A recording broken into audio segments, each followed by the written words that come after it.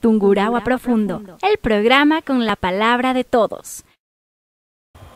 Amigas y amigos televidentes de su programa Tungurahua Profundo, bienvenidos y bienvenidas. En esta ocasión vamos a compartir los reportajes que realizamos desde la parroquia Augusto Nicolás Martínez, perteneciente al Cantón Ambato. Nuevamente sean ustedes bienvenidas y bienvenidos. Gracias por permanecer en sintonía de su programa Tungurahua Profundo. Las autoridades del Gobierno Autónomo Descentralizado Parroquial Augusto Nicolás Martínez organizaron la primera expoferia productiva.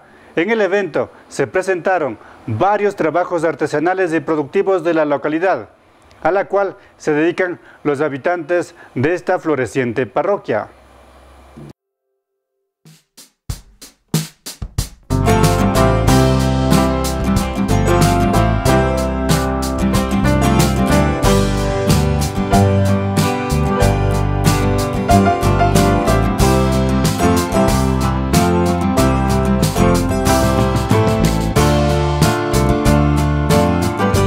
Gracias a la, a la parroquia Agustín Martínez por, por colaborarnos con estos, con estos, con esta ayuda, una forma de ayuda para los artesanos. Y muchas gracias por, por ayudarnos. Sí se está vendiendo y e invitamos a la feria artesanal aquí en Martínez. Sí, los artesanos necesitamos mucha ayuda sea, de, de las autoridades porque en parte, o sea, para nosotros poder salir adelante, para poder crecer un poco, necesitamos, o sea, de la ayuda de los de los de los de los que nos colaboren con, la ayuda de las autoridades. ¿Qué tipo de calzado ofrece usted? El calzado formal de hombre, en todo numerito, eh, para caballeros, en formal. ¿Esta feria qué les ha parecido en este día para ustedes? En parte nos ayuda a conocernos un poco más, a poder vender algo, o sea, lo que se tiene, el producto que se tiene. Eh, nosotros nos dedicamos a la fabricación y distribución, comercialización de zapatos, botas de, de mujer, botines, todo fabricado en cuero y eh, trabajo a mano.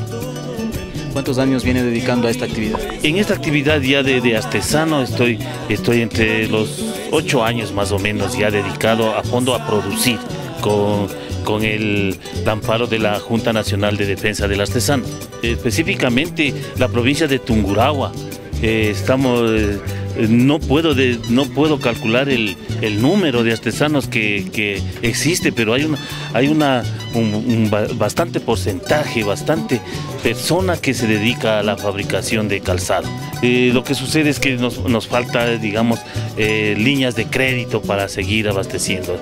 Ese es el, el, eh, inconveniente y con la, con la situación económica que es prácticamente a nivel mundial, entonces ha venido, ha, venido a, pegarnos, a, flaquear un poco al artesano, al, pequeño productor, diremos así. El calzado de Tunguragua, de, Ambato específicamente, sí, está en todo, abastecemos yo creo que el 60% del país, en, en digamos en en cifras técnicas, no. Yo pienso que sí se abastece al país. Demostrando también la, que, aquí vemos gente que trabajamos, gente artesanos que estamos ahí al, pie del cañón, podríamos decir.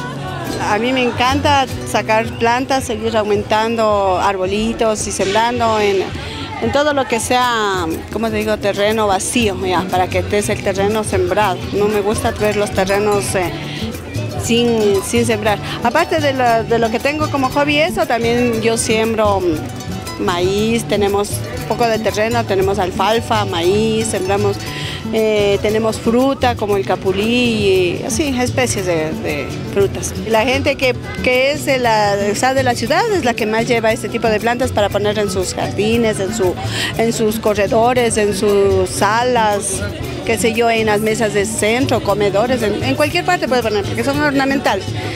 ¿Qué les ha parecido este día de la feria que han organizado las autoridades de la parroquia?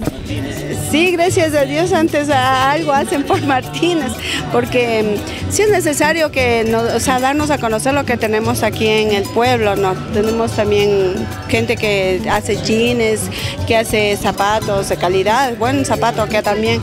Tenemos eh, gente que que hace cosas, buenas y criadero de cuyes, de gallinas, de todo tenemos, tenemos animales también de, de producción, pues así como vacas y todo eso. Para mí, o sea, es un placer, o sea, yo siempre que me invitan así a todas las ferias, me gusta salir, digamos, a exponer mis animales y también es, digamos, uno se ayuda mutuamente, ¿no? Por ejemplo, uno se sale con los animales y también uno se muestra nuestra mercadería. Entonces ahí vienen, o sea, los clientes. Tengo, por ejemplo, el pie de cría, este. Tengo también unos conejos, cuyes de mascota, igual. Por ejemplo, ese es el Rex, ese es del gigante, del de allá. Tengo ese el de cabello largo que es para mascota, igual este el cabeza de león, ese de ahí que es igual para mascota.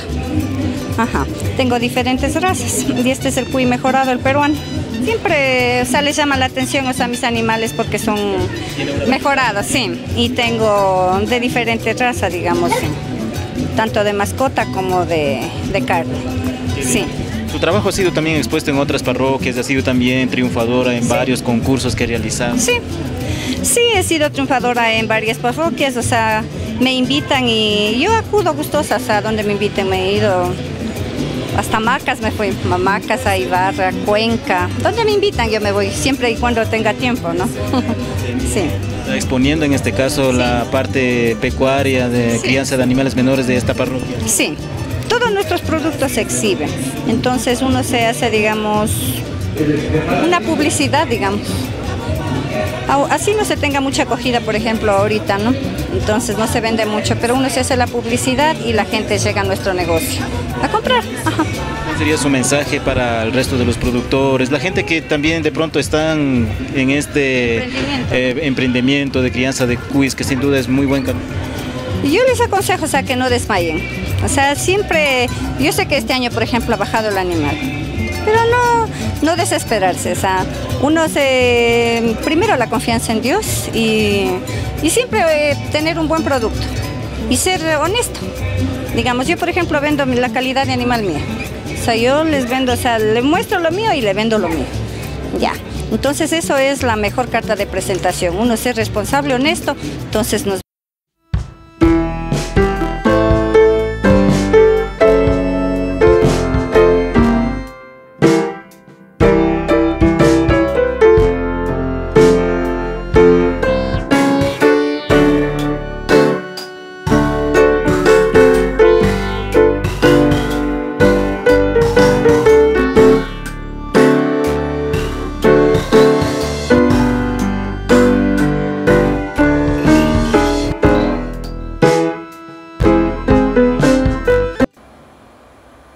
En la parroquia Augusto Nicolás Martínez existen pequeñas y medianas empresas artesanales, principalmente de calzado, además de la crianza de especies menores mejorados, actividades que permiten mejorar la economía de las familias.